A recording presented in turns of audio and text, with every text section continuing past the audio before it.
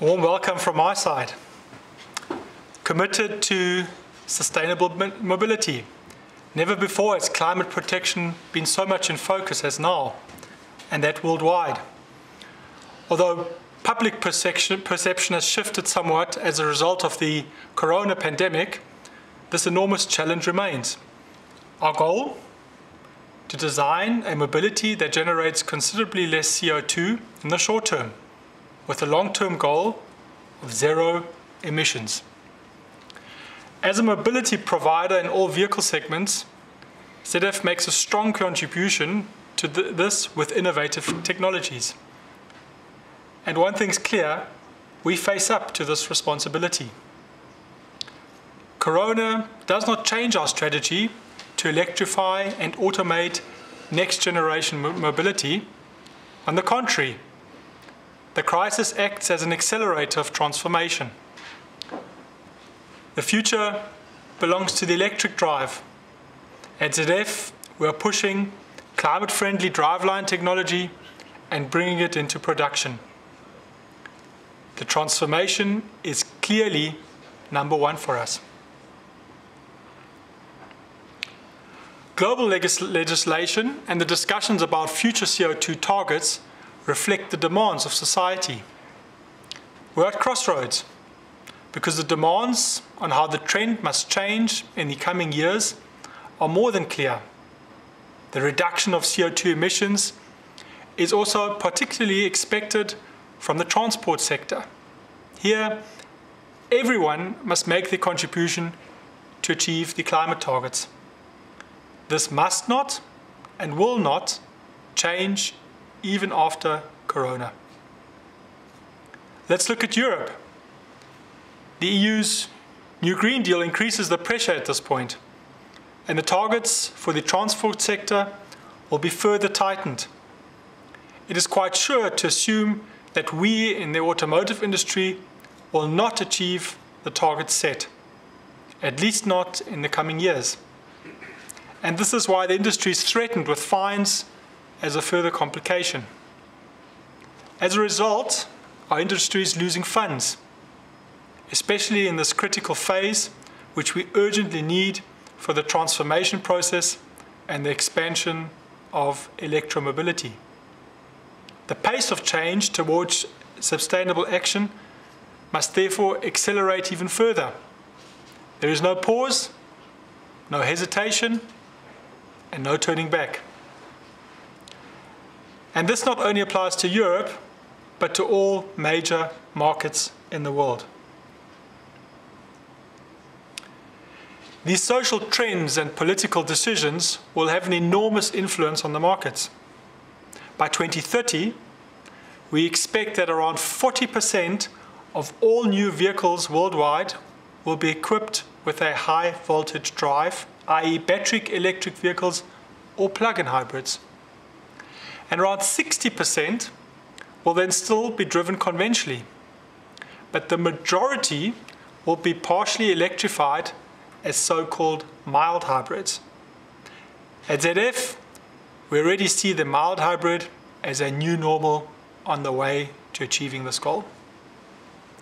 let me tell you, this will be average, measured in terms of their product portfolios, individual vehicle manufacturers will make an even faster and more pronounced transition to high voltage drives, including some of our own large customers.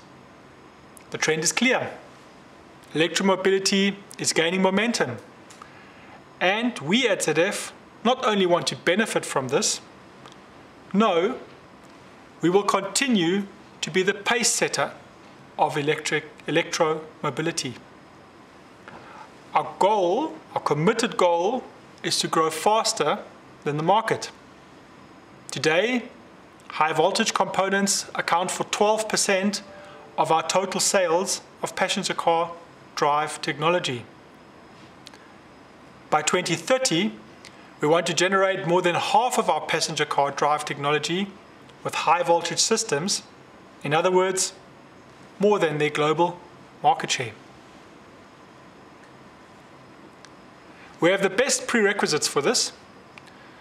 We are already a sought after partner when it comes to the hybridization and electrification of vehicles, and we're continuing to expand and strengthen this position. With our modular systems, we offer our customers the kind of flexibility they need in the foreseeable future and help them to further drastically reduce CO2 emissions and achieve their, supporting, their sporting goals. The orders for our next generation plug-in hybrid transmission from 2022 onwards and the next ramp-ups of our advanced electric axle drive also from 2022 onwards very clearly illustrates this. In our view, the plug-in hybrid is the technology for sustainable individual mobility alongside the battery electric drive. Instead of focusing exclusively on individual options such as fully electric cars, we believe the key lies in differentiation and the optimization of every technically feasible solution that can contribute to CO2 reduction. This includes, above all, the area of hybridization. Plug-in hybrids make a strong contribution if they are charged as often as possible and, above all, are predominantly operated purely electrically. Why? Because every gram of CO2 counts. At ZF, we therefore follow an approach that is open to new technologies and focus on the duality of solutions. Surveys have shown that around 55% of all potential buyers could imagine buying a battery electric vehicle, but not even 2% actually do so. With attractive offers that are super suitable for everyday use, we can get this customer group excited about electrified vehicles and thus help electric, electromobility achieve a decisive breakthrough. ZF will continue to invest consistently in the further development of these technologies and make a valuable contribution through its understanding of the overall system of the electric drive. From an economic perspective, the PHEV is particularly attractive for larger vehicle classes.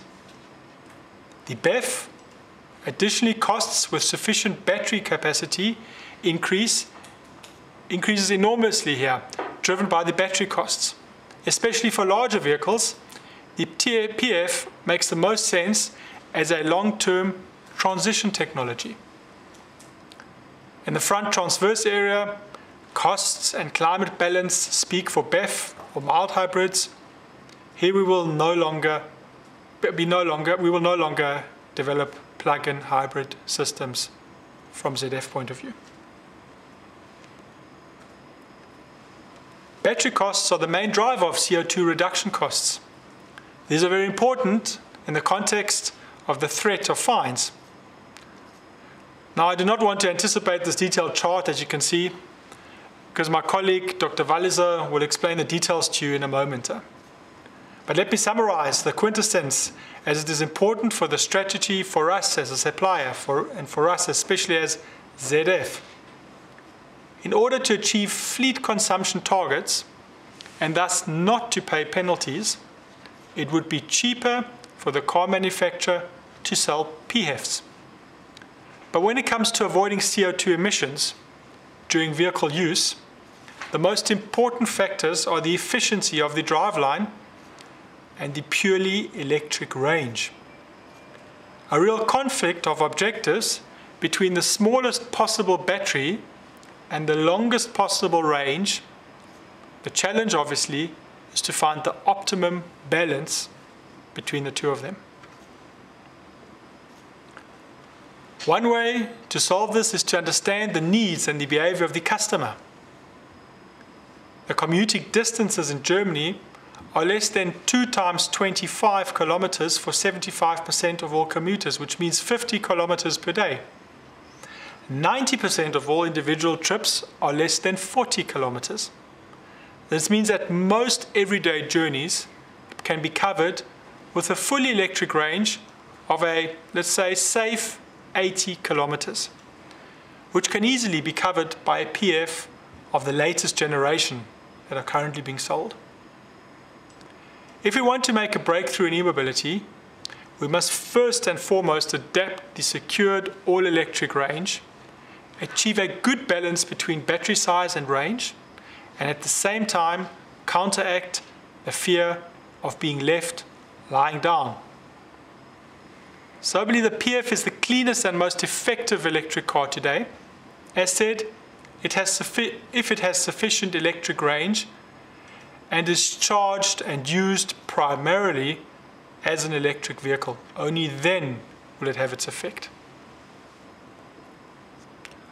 Of course, for us, there's no way around electric mobility, also for economic reasons. Even today, our product portfolio is only around 27% directly dependent on the internal combustion engine drivetrain. And we will co continue to reduce this. We act as a solution provider that helps manufacturers avoid the threat of CO2 fines. This is because these are expected from 2021 onwards. In our view, it is better and more successful to invest in appropriate technologies instead of paying penalties. To this end, we ourselves are continuing to invest in electromobility and are further developing our comprehensive product and technology portfolio from a low voltage to high voltage applications. This is what distinguishes us, our broad and precisely fitting product portfolio, because the various technologies for CO2 avoidance and the different market requirements demand are focused an individual approach with the respective customer. The added value that we can offer our customers and end users today and in the foreseeable future, as well as an outlook into the more distant future, be presented by my colleagues from the technical department. So I'm very much looking forward to exchange with you, and um, I'll be very much happy to answer your questions afterwards. Thank you very much.